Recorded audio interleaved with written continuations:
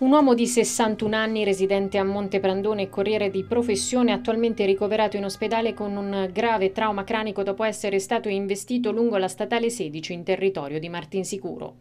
L'incidente è avvenuto attorno alle 10 in prossimità dell'area di servizio APP vicino alla rotatoria di Via Colombo. Secondo le prime ricostruzioni effettuate dai carabinieri di Martinsicuro, l'uomo aveva parcheggiato il suo furgone e stava attraversando la statale, probabilmente per effettuare una consegna. In quel momento una Fiat Panda guidata da un uomo di 78 anni di colonnella è sopraggiunta e l'ha investito.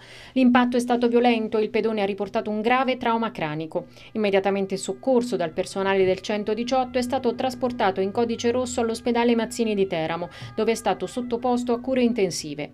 Le condizioni del corriere sono gravi e i medici stanno monitorando costantemente la sua situazione clinica.